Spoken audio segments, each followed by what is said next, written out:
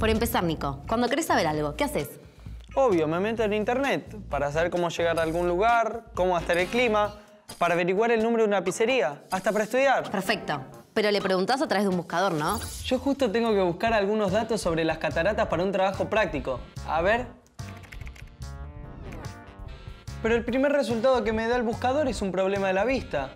Nico, para una búsqueda exitosa tenés que ser lo más preciso posible. ¿Qué cataratas estás buscando? Tenés razón, mejor escribo el nombre completo y además puedo usar comillas. Bueno, mejor. Y si, por ejemplo, quisieras conocer el caudal de agua que cae por los altos, podés agregarle la palabra caudal al final de tu búsqueda, ¿ves? Ahora me gustaría buscar algunas imágenes con buena calidad y puedo filtrar mi búsqueda por tipo de archivo o formato. Puedo buscar directamente imágenes, videos o noticias. Y acordate que, aunque uses una imagen para algo personal, conviene siempre citar la fuente y elegir aquellas de uso libre. Si seleccionás derechos de uso, podés filtrar las imágenes según el tipo de licencia. Como las licencias Creative Commons, ¿no? Claro, las licencias Creative Commons se usan para compartir y reutilizar obras bajo ciertas condiciones.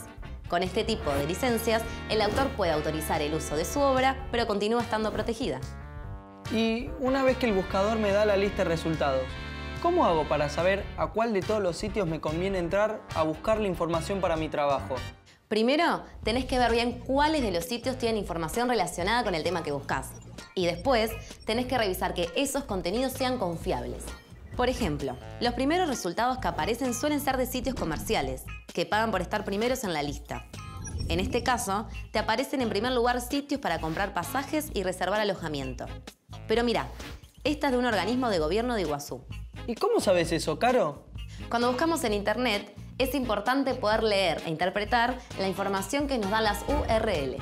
El dominio forma parte de la URL y en este caso vemos que se trata de una página de turismo de Iguazú porque termina en .gov.ar. Cierto, el .ar nos dice que el sitio es de Argentina, así como .br es de Brasil o .uy de Uruguay, ¿no? Sí, el país es una parte opcional del dominio y se caracteriza por tener dos letras. Y el .gov, en este caso, nos indica que se trata de una página gubernamental. Claro, también están los .edu, que indican que se trata de un sitio educativo, y los .org, pertenecientes a organizaciones sin fines de lucro. Todos estos sitios cuentan con el respaldo de una institución. Pero los más comunes no son los .com. Sí, el dominio.com por lo general es para sitios comerciales y la mayoría de sitios de interés general que visitamos hoy en día tienen ese dominio. Entiendo. Entonces los dominios pueden decir bastante acerca de si una página determinada es confiable o no. Probás la misma búsqueda de tu celu. ¿Y esto? Parece que los buscadores saben lo que necesitas más que vos mismo, ¿no? Es porque recolectan datos de lo que buscas en Internet. Con toda esta información, pueden predecir cuáles serán tus resultados de mayor interés y mostrártelos en primer lugar. Rastrean en tus dispositivos y en tus cuentas pistas que indiquen lo que realmente estás buscando. Se fijan en tus búsquedas anteriores, en lo que mirás o compras por internet, en lo que publicás en las redes sociales. Eh, no, no, no, no, no, pará, pará, pará, era para una fiesta, una broma. Eh, ¿Cómo saben esto? Y bueno, Nico, internet es muy útil, pero tiene sus riesgos. Por eso tenemos que ser muy cuidadosos con lo que subimos y debemos ser conscientes de que cada búsqueda que hacemos o cada página que visitamos va a quedar registrada en algún lado, a no ser que utilicemos un navegador anónimo. Hay algunos navegadores que no llevan registro de tus búsquedas y por lo tanto no recopilan ni comparten tu información personal. Pero además, en el universo de Internet hay todo tipo de información, pero no toda es confiable o adecuada. ¿Estás insinuando que Internet miente? Internet no. Pero como cualquiera puede publicar información, tenemos que estar atentos y saber seleccionar.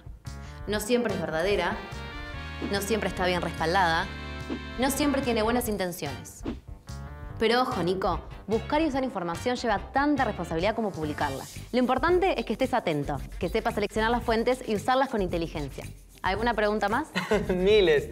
Pero ¿sabés qué? Las voy a buscar en internet. Ahora ya sé cómo encontrar las respuestas.